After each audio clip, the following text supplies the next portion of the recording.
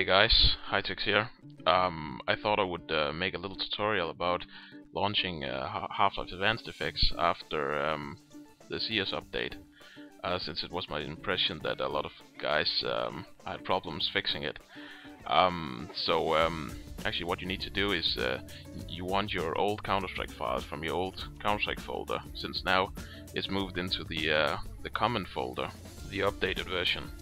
So um, if you don't have your old uh, your old Counter-Strike folder, I'll link it in the description.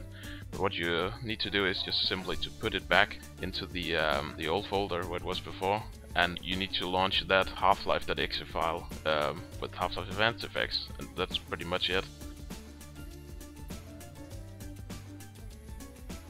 And works. Yeah.